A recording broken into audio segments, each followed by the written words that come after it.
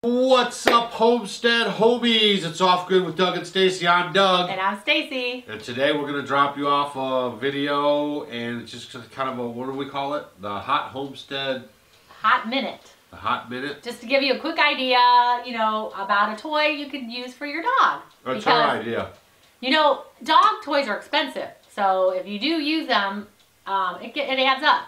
So I had got, like years ago, I had gotten the dogs a toy or gotten it as a gift and it had that little crunchy thing inside of it. I thought, well, why can't you put a, a water bottle and kind of make one for cheap? So we don't drink out of plastic, but I just have whoever, you know, people I know that has a party or something, I have them give me some of these.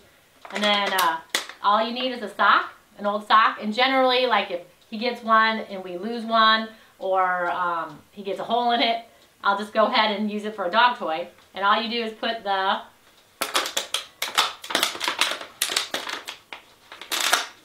bottle in the sock and then you tie it so nothing comes out of it.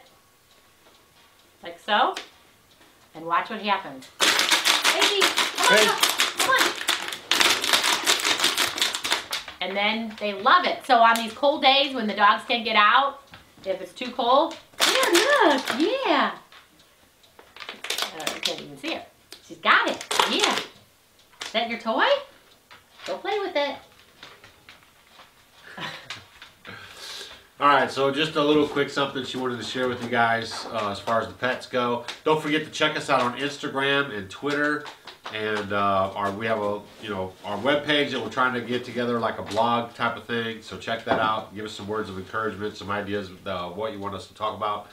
Also, um, uh, if you were waiting for a SCOBY or um, some fiber um, or stuff like that, Harrison, uh, we are taking care of that. You guys, by the time this video comes out, you probably already have it, but just to let you know that it is on the way, okay? Uh, to get to the post office for us, you know, we, it's just not high on our priority list, uh, so we try to get there, uh, you know, as much as we can, but it's not all the time, all right? Anything else? That's it. Just try it, you know, if you want to cheap. And then just remember, watch for any parts that come out. Yeah, you know, if they're biting through it. And, yeah, and, uh, and then just pitch it. Yeah, Faith really likes it, can you tell? it's because I was playing with her earlier with it she's tired. So. That's funny. But they love it when you squeeze it right away. They're right over there playing with yeah, it. She's tired. We went on a long walk. We already noise. played with it earlier, so but it does work. So give it a try, you know, and it's a lot of fun and it's very cheap and inexpensive. So give it a give it a try. And if you like this video, how about a big thumbs up? All right, thanks for watching. This is Off Grid with Doug and Stacy. I'm Doug. I'm Stacy. We'll catch you guys on the next episode. Chores, and then I came back, and here is the beautiful duck face.